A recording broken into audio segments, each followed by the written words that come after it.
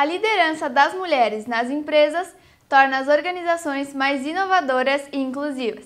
Em Erechim, o empreendedorismo feminino cresceu tanto nos últimos meses que o tema ganhou até lei municipal. Acompanhe. A lei municipal ganhou força através de uma sugestão do vereador Carlos Lemos.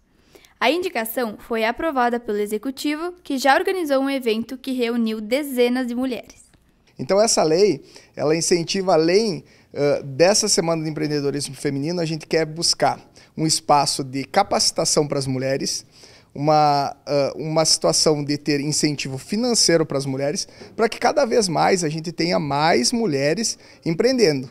A mulher ela tem um espaço de liderança muito grande dentro da sociedade. E elas querendo estar na frente das empresas e empreendendo, será muito, muito positivo para o nosso município. A Semana do Empreendedorismo Feminino teve como objetivo fundamental trazer conhecimento para mulheres que já são empreendedoras e inspirações para aquelas que querem dar o primeiro passo ou aprender ainda mais. O conteúdo que a gente trouxe para a semana é bem variado. A gente trouxe desde empreendedorismo materno até em liderança, em liderança transformacional. É, a gente também trouxe um pouco sobre marketing, branding, marca. Então, o conteúdo ele é bem abrangente, mas o nosso foco realmente é que as mulheres criem uma rede de network, que elas se conheçam, que elas compartilhem experi experiências nesses momentos em que a gente estiver aqui no, no evento. Muitas mulheres estão à frente de empresas com a ideia de fornecer aquilo que procuram e não encontram no mercado.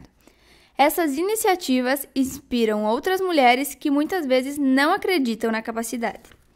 Então eu uni toda a minha trajetória, toda a minha formação na área da moda com a maternidade real, né? não essa ideia da maternidade romantizada que a gente tem. Uh, e fiz, então criei né, a, a Mini Roupinha, que é uma marca de moda autoral, afetiva e também unissex porque o corpo da, dos bebês e das crianças não tem as diferenças que tem dos adultos. Cintura escapular, cintura. Então, não, não tem essa necessidade de uma, de uma modelagem diferenciada. O que tem necessidade é do conforto, principalmente nos bebês, porque eles não falam, eles choram, eles manifestam desse jeito né, o desconforto deles.